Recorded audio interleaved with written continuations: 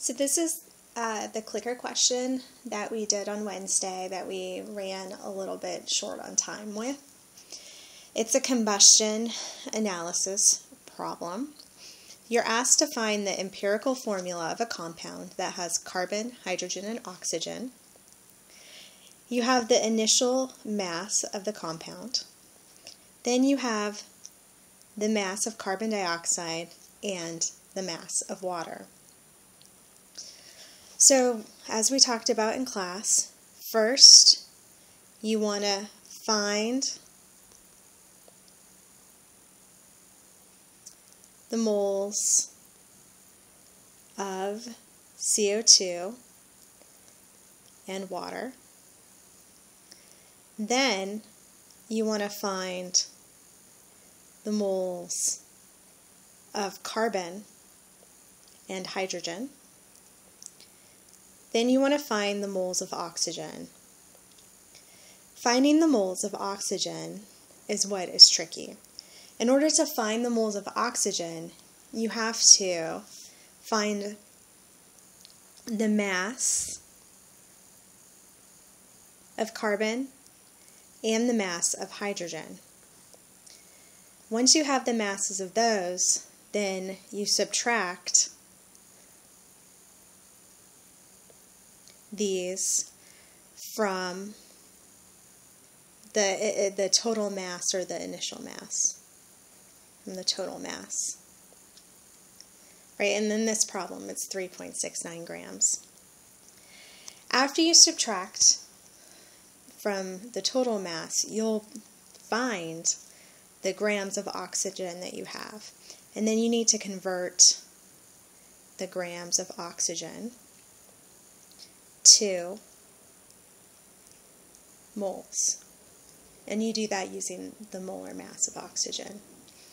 Once you do that, you have the moles of oxygen, hydrogen, and carbon. Then you can start looking at the empirical formula.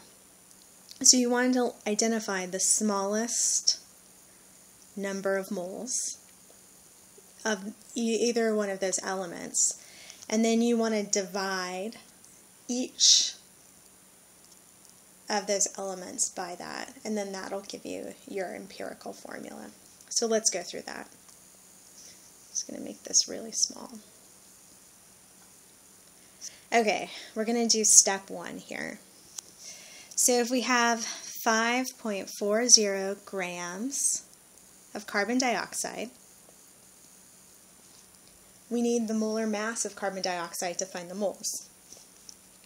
So, one mole of carbon dioxide is 44.01 grams. So if you do that on your calculator, you get 0.122699 moles of carbon. Let's find the moles of water. I put carbon, I'm sorry, it's carbon dioxide. Uh, so we have 2.22 grams of water. Water is 18.02 grams for every one mole. So let's look at what that equals. 2.22 divided by 18.02. All right, 0 0.12319 moles of water. Okay, now that we have the moles of carbon dioxide and the moles of water, we need to find the moles of carbon and hydrogen alone. We can do that by considering the ratio of carbon and carbon dioxide and of hydrogen in water. So let's do that. So we're on step two, finding the moles of carbon and hydrogen. So if we have 0.122699 moles of CO2 for every one mole of CO2, we have one mole of carbon. So this is the same. 0.1227. I'm just going to round a little bit um, to save space. Okay, so you have 0.1227 moles of carbon. Let's do the next one. You have 0.123196 moles of water. Every, every one mole of water, you have two moles of hydrogen. So if you punch that in your calculator, 0.2464 moles of hydrogen. All right, you have moles of hydrogen, moles of carbon. Now you need to do number three, which is find the moles of oxygen. Now remember, this is the tricky part. So in order to find the moles of oxygen, you need to find the mass of carbon and hydrogen and then subtract it from your initial mass. So let's find the mass of carbon and the mass of hydrogen. 0.1227 moles of carbon. Carbon, for every one mole there are 12.01 grams of carbon. If you punch this in your calculator, you get 1.4736 grams of carbon. Okay, moles of hydrogen, 2 grams of hydrogen. So 0.2464 moles of hydrogen. For every 1 mole of hydrogen, we have 1.008 grams. So if you put that in your calculator, you should get 0.248. We'll just do 4 there, grams of hydrogen. Okay, so now that we have the grams of hydrogen and carbon, we can find out the grams of oxygen. So the grams of oxygen is going to be the initial mass, which is 3.69 grams, minus the sum of these. So 1.4736 grams plus 0.248 grams. All right. So grams of oxygen will equal 1 nine six eight grams. Okay, now that we have the grams of oxygen, we need to find out the moles of oxygen. So let's do that. All right, so moles of oxygen. Okay, if we have 1.968 grams of oxygen for every 16 grams of oxygen there's 1 mole. So this equals 0.1230 moles of oxygen. Okay, we are really close here. We have moles of oxygen, we have moles of carbon, and moles of hydrogen. So we're ready to look at what this might be as an empirical formula. So we have carbon, hydrogen, and oxygen.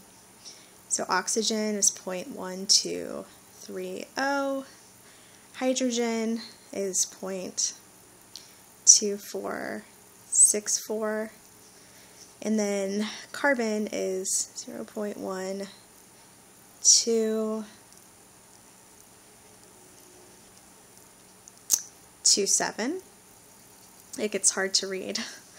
Okay, so carbon has the least, so we're going to divide each one by that amount of moles of carbon.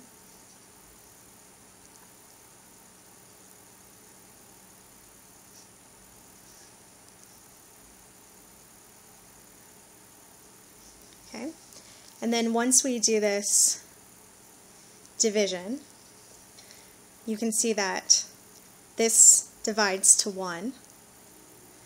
Hydrogen divides to 2 and oxygen divides to 1. So our empirical formula then is CH2O. Now let's do an extension of this problem. So you've calculated the empirical formula. If I gave you the molecular weight of the molecular formula, you should be able to figure out what that molecular formula is. So, for example, if I told you that the molecular weight, let me make that look nicer. If I told you that the molecular weight was 90 grams per mole, we could use this information to transform sort of this empirical formula to its molecular formula. So we talked about in class that in, which will be what you would multiply the number of atoms in this um, empirical formula by, is equal to the molecular mass of the compound divided by the molecular mass from the empirical formula. So we have 90 grams per mole divided by, so let's calculate the molecular mass of the empirical formula. So we have one carbon, so it's 12.01, plus two hydrogen, so 2 times 1.008, plus one oxygen, oxygen is 16. So we have 30.026 grams per mole. So if you divide 90 by 30, you get 3.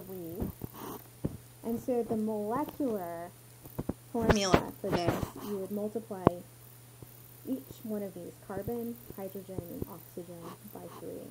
So it would be C three H six O three. So there we have the molecular formula and the empirical formula. And the empirical formula was what the clicker question was about. I hope this helps.